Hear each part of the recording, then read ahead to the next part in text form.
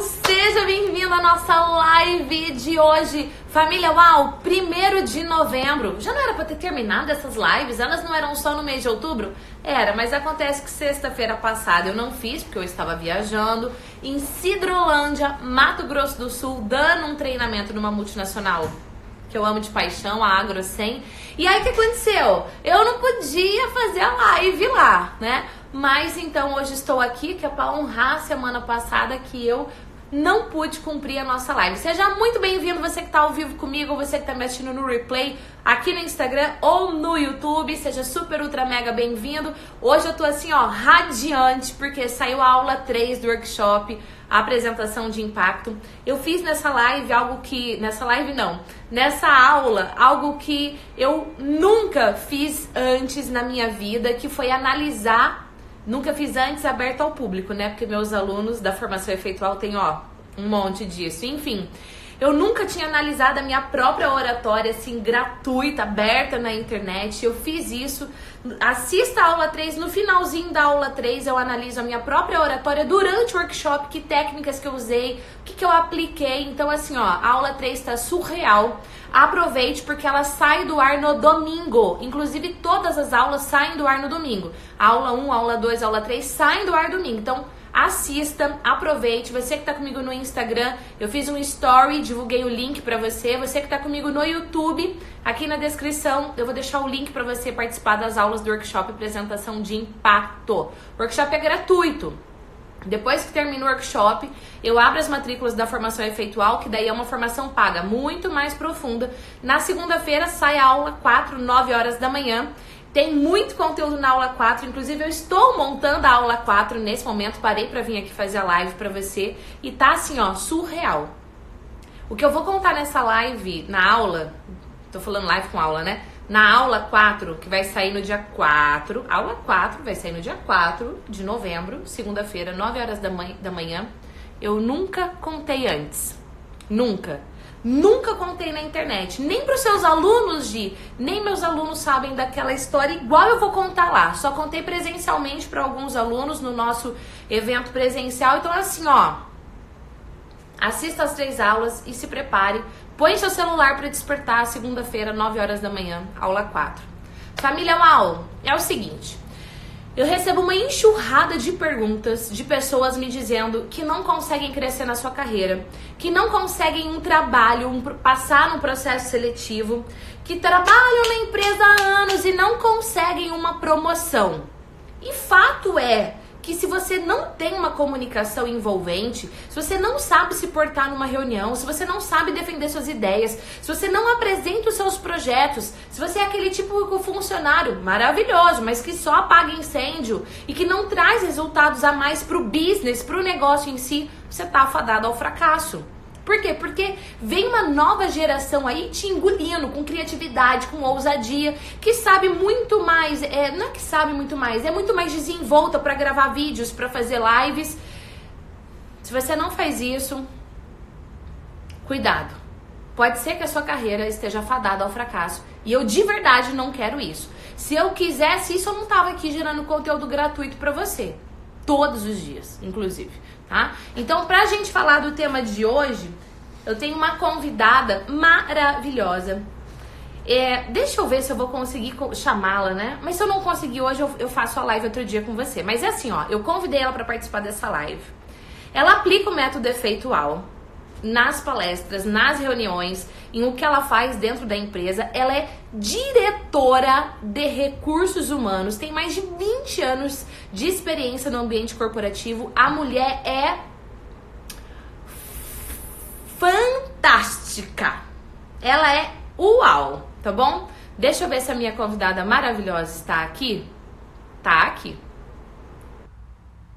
Aguardando. Daniele Faber. E, gente, a agenda dela é loucura total, tá? Ainda bem que ela conseguiu esse horário pra gente. Oi, Dani! Oi, pessoal! Gente, estamos na sala da diretora. Respeito! Literalmente na sala da diretora. Então, de papo com a diretora, de frente com a diretora. Papo com a diretora. Olha, isso daria uma, um bom tema para vídeo, viu, Dani? Gostei. Hum, é. Gostei. É verdade, olha, olha aí. Vamos anotar os insights. Gente, Dani maravilhosa. Pode deixar aqui, ó. Hashtag respeito. Tamo na sala da diretora. Hashtag na sala da diretora. Dani, eu já falei um pouquinho de você, mas conta o que, que você faz, conta um pouquinho da sua jornada. Tá. É, eu sou a Daniele, como a Gi comentou. Eu sou, atualmente, eu sou diretora de gestão de pessoas de uma multinacional aqui em Londrina, né, na mesma cidade que a Gi mora. É, eu trabalho há 20 anos nessa mesma empresa, então a, estar na posição hoje de diretora de gestão de pessoas é literalmente uma, uma trajetória de transformação e, e de reinventar me, me, reinventar na carreira todos os dias, né? Eu sou mãe de uma menina linda, da Heloísa, sou casada há 22 anos também, então essa sou eu. Gente, maravilhosa. Ô, Dani, e eu vi uns stories seus aí, né? Gente, quem não segue a Dani, eu vou logo em seguida, eu vou fazer um story divulgando o arroba dela, mas você pode clicar aqui também. Você que tá no YouTube, na descrição eu vou deixar o link do Instagram da Dani e do canal do YouTube da Dani, porque a Dani fez um canal no YouTube, ainda, ainda não publicou nada, mas publicará em breve. Eu vou compartilhar conhecimentos. Vamos compartilhar é. conhecimentos. E a Dani, é, ela ontem, inclusive, ela fez um treinamento com a equipe, não foi isso, Dani? Foi. Nós estamos vivendo aqui na empresa que eu trabalho um processo de transformação. Então, a gente tem um desafio novo é, de resultado. Mas o mais importante não é só o resultado. O resultado a gente precisa entregar. O importante é como nós vamos entregar esse resultado. E aí, esse processo de transformação, de adequação e de desenvolvimento na empresa, a minha equipe de gestão de pessoas, de recursos humanos, precisa estar a léguas de distância na frente, né, à frente, para conseguir é, puxar a empresa, não, não ser empurrado pela empresa. Então, para ser um, uma área estratégica de recursos humanos, nós precisamos estar mais preparados que, do que os demais. E quem é que foi que deu treinamento ontem? Fui eu. Ah, eu tenho uma equipe, é, é, eu tenho uma equipe de 24 pessoas, três, coordena, é, três dois gerentes, um coordenador e quatro business partners que respondem diretamente para mim. Mas eu tenho 24 pessoas, né? Nossa equipe é composta de 24. E aí tem algumas ações com a minha equipe que eu não abro mão de fazer. É, inclusive, uma das técnicas aplicadas foi a que eu aprendi com você. Maravilhosa. Olha só.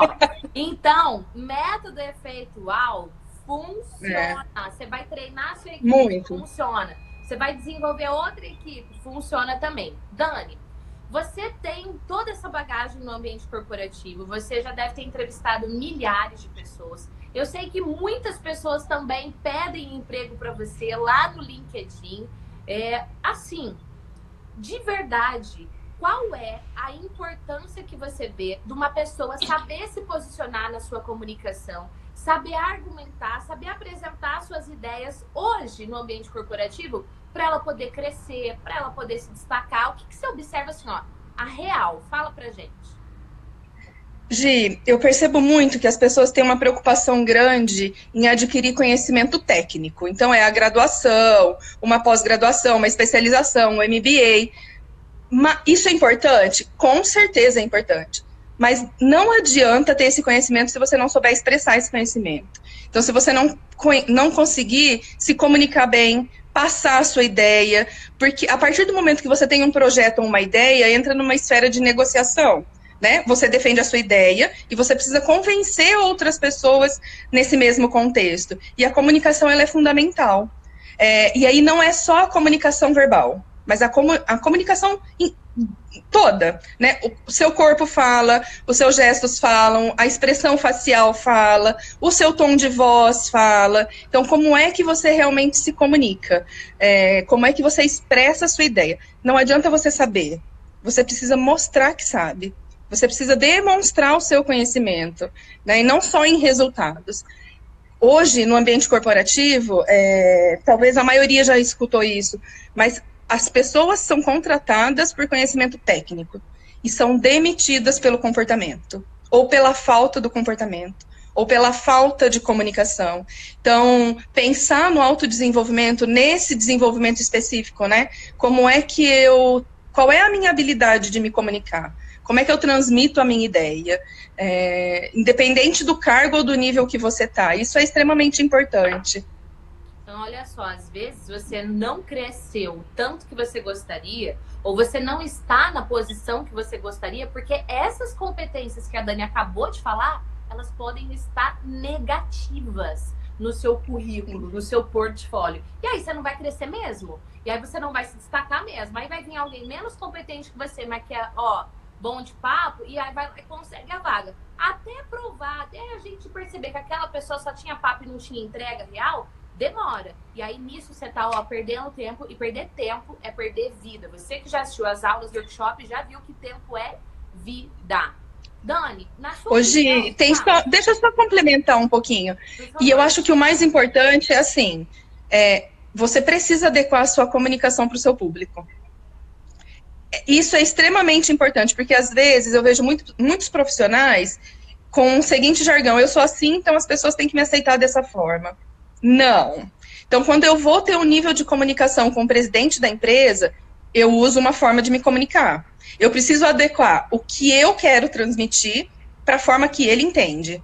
Quando eu vou falar para o time de diretores, é de uma forma. Como eu vou falar, quando eu vou falar com os analistas, por exemplo, tenho aquela, aquela comunicação mais próxima. Então, existe também esse jogo, essa leitura, não é nem um jogo, essa leitura para adequar a sua comunicação para o público que você quer conversar, né? Perfeito, perfeito, perfeito. Dani, você é uma pessoa super exigente. Assim, ó, exigente aqui no topo, assim, nem cabe aqui no vídeo, passou, tá? De verdade, o que, que você pode falar pra gente, pra mim também, sobre a formação efeitual online? Gi, é... eu acho que eu posso dar um passo antes para eu chegar nessa sua resposta. Eu procurei é, é, a ajuda da Gi, a formação, eu já tenho todo o contexto, né? Eu tenho 25 anos quase trabalhando na área de gestão de pessoas. E quando eu fui promovida para diretora, eu senti a necessidade de me desenvolver no quesito de comunicação. Então, agora, como diretora, como é que eu preciso me comunicar? Como é que eu preciso ter uma comunicação que envolva as pessoas, que engaje as pessoas, que, que motive as pessoas dentro de um propósito maior? Né? Então, não era mais uma comunicação técnica, mas era uma comunicação mais de transmitir conhecimento para engajar realmente as pessoas. E a formação me ajudou muito, desde a forma de eu respirar, a forma de eu me portar, a forma de me vestir, a forma de é, montar os slides, o time, recursos para utilizar durante essas comunicações. Então, assim, o que eu aprendi para palestra, um workshop, por exemplo, eu tenho usado em reuniões. Então, a, a gama de conteúdo, de técnicas, de dicas, proporciona para quem está fazendo um curso insights para a vida. Então, vou dar um exemplo. Acho que em uma das no, do, do, dos treinamentos, você dá uma dica que eu já usei de comunicação, tá? Da comunicação óbvia, que ela precisa ser dita. Eu já usei com o presidente da minha empresa, já usei com a minha equipe, já usei com meu marido, por exemplo. Adorei. Aquela do batuque. Uma hora você conta para É isso aí. Uma hora você conta para eles a história do batuque, de batucar a música. Ah. Mas às vezes eu tô conversando com o Ale e o Ale fala assim: "Ah, isso é batuque, você não falou direito, Dani". Então, é, é você leva para a vida, né? Não é só para o ambiente profissional. E principalmente, assim, para quem quer dar palestras ou ter uma comunicação melhor em vários, em, em vários âmbitos, né? Na igreja, é, é enfim, com os amigos. Tem gente que tem dificuldade para expor o pensamento, então ajuda muito, muito.